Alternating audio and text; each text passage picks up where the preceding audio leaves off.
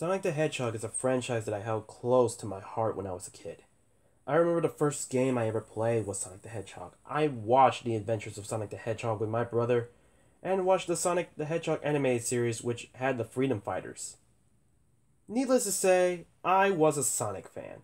So when I heard back in 2019 or 2020 that the Sonic the Hedgehog movie was coming out, the kid in me was cheering. Then I saw the first Sonic design and it killed me. Like literally and like literally my brother had to say Kevin literally I had to hold me in the chest says, You good? And I was like, No. I was the first design haunted my dreams. But thankfully they changed the design. I will tell you this this I will tell you this guys. The movie when I first watched it was amazing. I felt like a kid again watching the movie.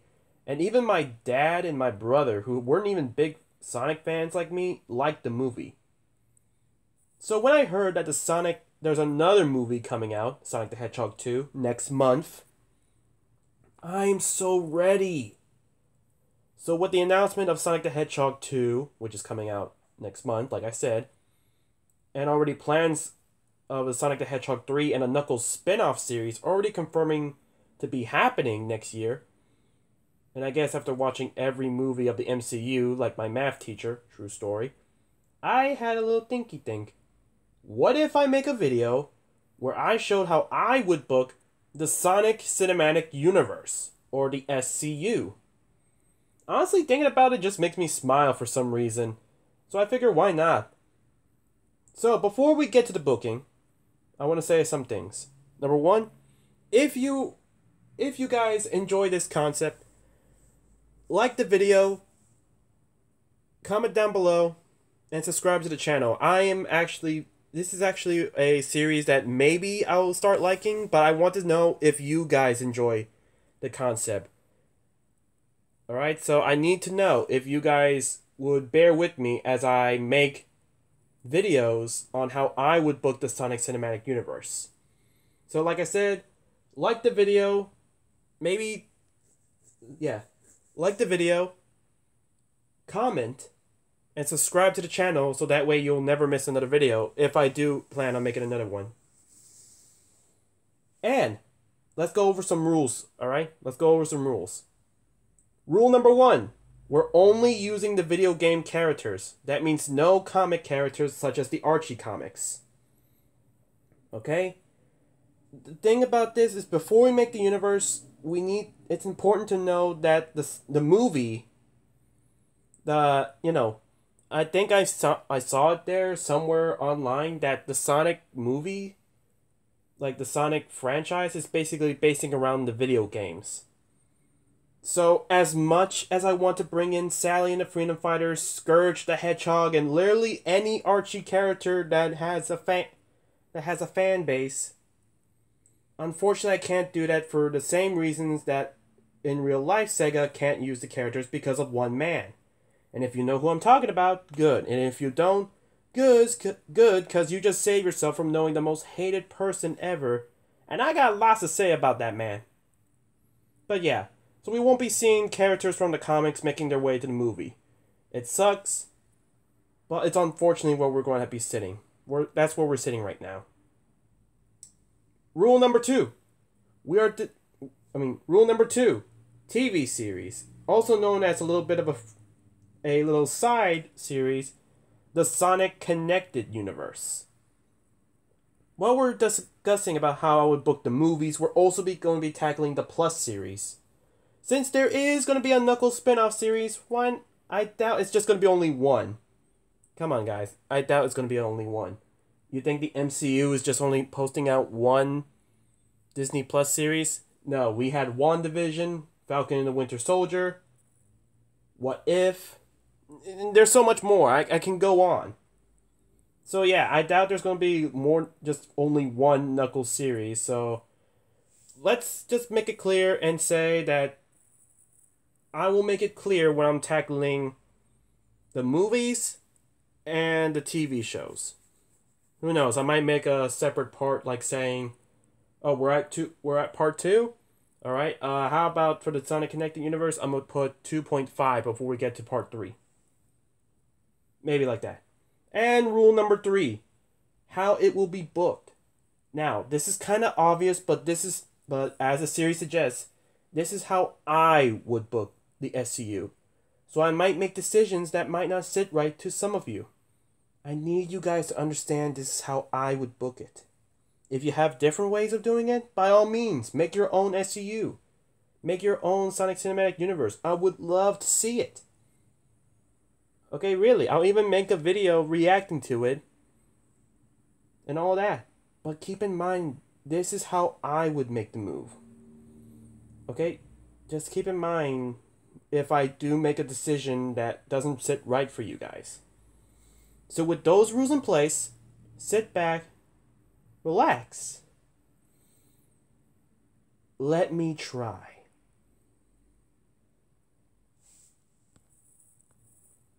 So, first, let's get the first thing out of the way the first movie to kickstart the whole thing in motion Sonic the Hedgehog. Yeah, we don't need to change anything about the movie. I like how it built up Sonic and Donut Lord's relationship. Eggman was great. Everything in the first movie was great because it just happened. It, it was all great. Like it was just a fun, quirky adventure with a Sonic with a a video game mascot coming into our world and because Tails at the end credit scenes to feed us to feed us Sonic fans for the possible movie 2 that we're now getting this April. So, I say let's leave movie 1 the way it is. Honestly, there's not really a complaint of why.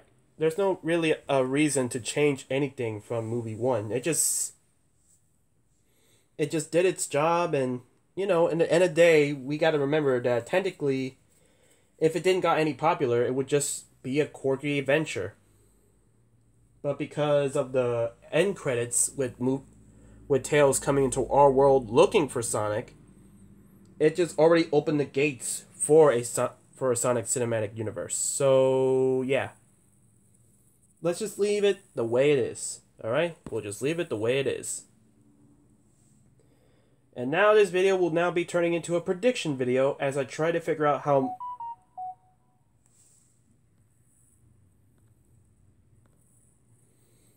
Sorry about that. As I try to figure out how movie 2 will play out this April. Okay, uh, how can I put this movie on the big screen? Simple. In this movie, I think the main sort of plot hole that we're going this this this big um, character arc for Sonic. It's Sonic growing up. By the end of this movie, Sonic will will transform as the hero Green Hill Zone. Sonic will just Sonic will evolve from the hero of Green Hill, Montana to being the hero of the world as we always know he is in the games. Now, why did I say Sonic will grow up in movie 2? Well, think about this. In movie 1,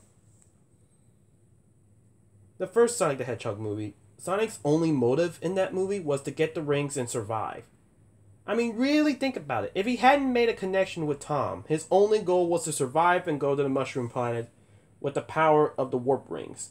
But because he did make the connection with Mr. Donut Lord, his goal changed from leaving Earth for his survival, but staying on Earth and saving the people in that little town. It's also evident in the trailers that Sonic's trying to pull up a hero name. Sonic in the trailers is trying to be the hero in the darkness like Batman. Sonic's literally trying to be known as Blue Justice. Loves do blending. So here I think movie 2 is going to play out. Sonic is trying to make a name for himself. He's experimenting out there to be the hero he knows he can be, dubbing himself Blue Justice. However, let's just put it Sonic's more put more harm than help based on the trailers. Sonic's main flaw is that he thinks playing hero is some sort of game, so by Tom's words, Tom will take some Sonic will take Tom's words to heart. Meanwhile, Sonic will be making a new bond with Tails, who is here in search for him. Now we don't know why Tails arrived in the world of in our world for Sonic at the end of the first movie. Like what reason does Tails have a reason to search for Sonic? Well, I think it would be kind of funny if Tails was trying to tell Sonic why he's here, only for Sonic to stop him with his cheeky personality. Make it the running gag for movie two. You know, give put suspense on how is Tails here? Why why is he here? And when we're trying to figure it out, Sonic just you know, Sonic just blocks him from even saying anything. And we have to wait for the end of the movie to figure out why Tails is here for Sonic, which is kind of funny if you ask me. That would honestly happen. Also in this movie, Eggman is back and Agent Stone is back on his side, which I'll be honest with you guys, I like Eggman and Agent Stone's back and forth segments. They're great. And Knuckles is coming into movie and Knuckles is coming at movie 2 as well. So, with Knuckles being the movie, we might see a side of Sonic that we haven't seen before. And what I mean by that is simple. When Sonic meets up with Knuckles, he's going to have flashbacks about Longclaw and his final moment seeing her, which is her sacrificing herself for him from the echidnas from the beginning of, mov- of the first movie.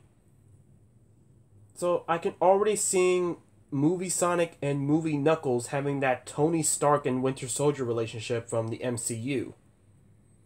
I mean, technically speaking, that's a big that's a big nail in the coffin right there. Sonic is essentially Tony Stark and Knuckles is well, we don't know. Knuckles may or may not be the person he may not be involved of what happened in the mo- in the beginning moments of movie 1. So we don't know if he did he was involved against the Longclaw attack. I mean attacking Longclaw or Maybe he was just as young as Sonic. We don't know, but we do know is Knuckles is technically the Knuckles is technically the last remnants of his kind. And Sonic, well, I'm pretty sure Sonic is not going to sit right with you know, Knuckles being similar to the ones who basically took him away from his supposed supposed mother. So, yeah. So basically, Sonic will be growing up to be a hero we know him as, as well as Sonic and Tails' relationship will be developing.